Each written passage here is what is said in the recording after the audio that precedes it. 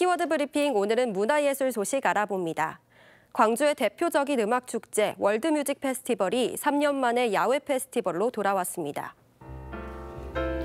국립아시아문화전당이 내일부터 이틀간 월드뮤직 페스티벌을 개최합니다.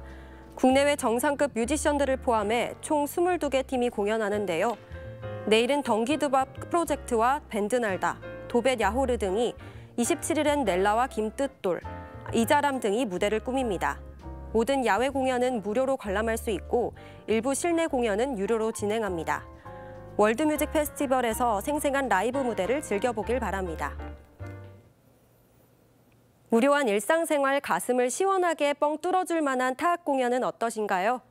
무안군에서 다양한 타악 연주를 한자리에서 볼 수 있는 공연이 열립니다. 무안군이 내일 저녁 7시 30분부터 승달 문화예술회관 대공연장에서 타악쇼, 진명, Street, Drop the Beat를 선보입니다. 문화공감 방방곡곡 공모사업에 선정된 우수 공연으로 타악그룹 진명을 중심으로 여러 장르의 타악 공연을 즐길 수 있는데요. 전통 리듬 7채를 이용하는 등 한국적인 요소를 넣고 대사나 내레이션이 없는 non-verbal 퍼포먼스 형식으로 구성해 누구나 쉽고 재밌게 관람 가능합니다. 특히 행진을 하면서 연주를 하는 마칭 밴드의 공연도 준비되어 있는데요.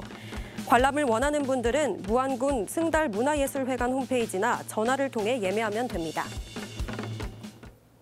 처서가 지나면서 여름 더위가 한풀 꺾인 게 느껴지는데요. 선선한 저녁 공기를 맡으며 야시장을 즐겨보는 건 어떨까요? 이번 주 토요일 사회적 경제 기업을 도우면서 공연과 체험을 즐길 수 있는 특별한 야시장이 열립니다. 오는 토요일 광주 수완호수공원 일대에서 한여름밤의 ON 행사가 열립니다. 한여름밤의 ON은 사회적 가치를 추구하는 사회적 경제기업 22곳이 함께하는 야시장인데요. 제로 웨이스트 주방 도구와 수제 가방 등 사회적 경제 기업의 제품을 판매합니다. 그리고 네일 아트, 보석 십자수 등의 무료 체험과 버블쇼, 불꽃놀이 등 다양한 프로그램도 진행합니다.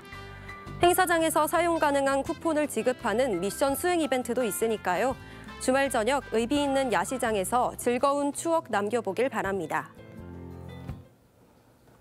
지금까지 키워드 브리핑이었습니다.